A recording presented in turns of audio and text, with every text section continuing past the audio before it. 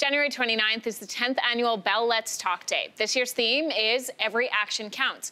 Earlier, earlier this week, rather, on social media, I shared my personal story. Take a look.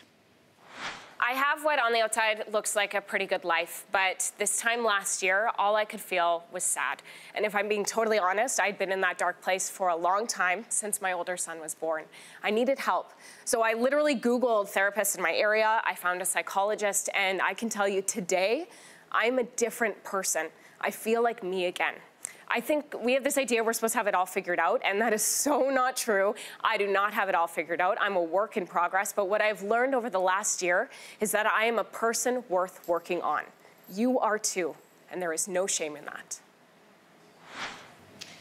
Yeah, so it's it's hard to share. It's yeah. hard to share that. It's hard to watch it. There's so many things I want to say, but what I've learned most importantly over the last 10 years of talking about mental health is that today it is still really, really hard mm. to say I need help. And when I did, I felt scared. I felt embarrassed. I felt like a ma major failure and a fraud. Um, that phone call to book the appointment was the hardest thing I've ever done. I called and this poor receptionist gets on the phone and I'm like sobbing mm-hmm. as I'm booking the appointment. But the, the difficulty doing that, the discomfort was so worth it because I got to therapy and it turns out I wasn't broken. Mm. I wasn't, uh, uh, there wasn't something wrong with me. I wasn't sick. I was a normal person having a normal reaction to a, a set of life circumstances. My therapist gave me coping mechanisms, strategies to work through things.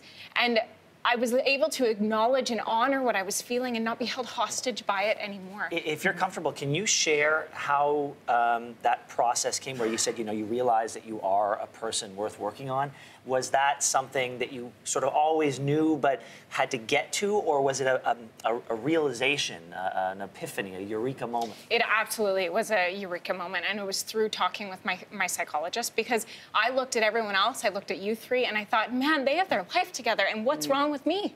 Well, how, how, how do I not have it all figured out? And I realized, no, everyone's doing the work. Whether the work is a good night's sleep and a workout, whether it's having a great group of friends, whether it's going to support groups, uh, addiction counseling groups, a therapist, or it's taking medication. Everyone is doing that work. Or all of the above. Or all of the above. Yeah, and you know, where you are on that spectrum can change through your life, and that's okay too. Yeah. I was a person, a teenager who, uh, and in my 20s, who was so positive and so enthusiastic, and all of a sudden I became a mom, and that changed for me, and that was mm -hmm. the big thing that changed.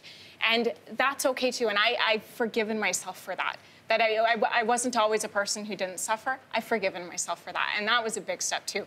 If you recognize yourself in anything that I've just said, know that you are worth it. You are worth working on. You are worth making that phone call as hard as it is. Just do it. Take that action because you will never regret it. I promise you, you will never regret it. Yeah, part of the special that will air on Bell Let's Talk Day, which is a reminder, is January 29th, is about taking action. So we've been talking for 10 years, lots of awareness, lots of breakdown of stigma. But as you mentioned, Kels, there's still some fear and some hesitancy and, and, and resources. So yes, you can pick up the phone to call. I've made that call for other people, for myself, for people in my family and other friends.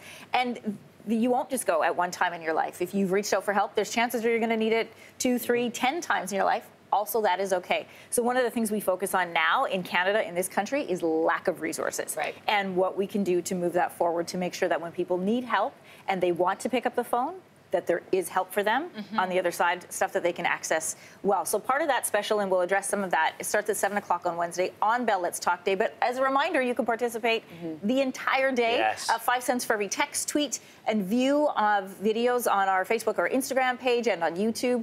Uh, also, five cents, in case you didn't know, for all the young people out there, five cents for using every Bell Let's Talk filter on Snapchat. All of that is money that goes towards resources. And no five cents for the cereal challenge on TikTok. Right. Do something good with your time on yes. social media. Hey, thanks for watching. If you liked this, be sure to subscribe here, or you can check out more Your Morning videos right here.